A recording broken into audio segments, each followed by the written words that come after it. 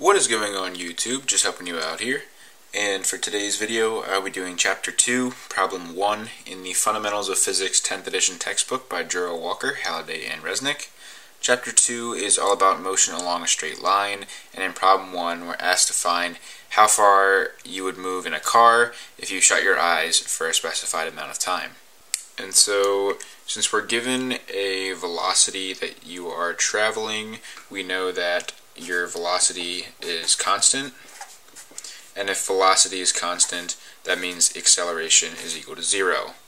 And so since acceleration is zero, that means your acceleration is also constant, and that means we can use equation 2-18 in the textbook, which is x minus x naught is equal to vt minus 1 half at squared. As we said, a is equal to 0 here. This entire term will just go to 0.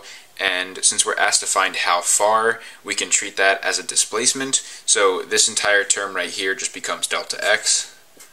And then that is equal to v times t. And we are given both v and t in the problem, so we can simply plug those in. And so delta x is equal to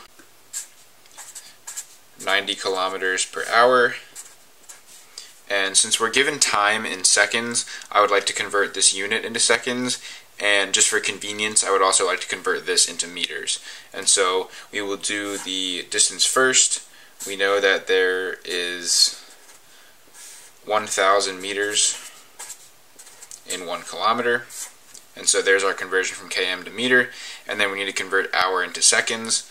And then that'll give us one hour is equivalent to 60 minutes. And then one minute is 60 seconds. And so that entire term is our velocity in terms of meters per second.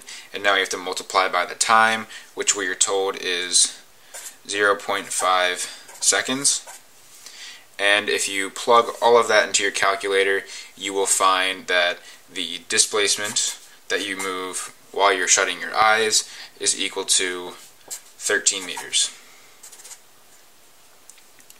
And so that's about it for this problem. So if you found this video helpful, please drop a like, leave a comment if you have any questions or an idea for a future video, and lastly, please don't forget to subscribe and tell your friends about my channel so I can grow and help more of you guys out. I'm just helping you out. See you in the next video.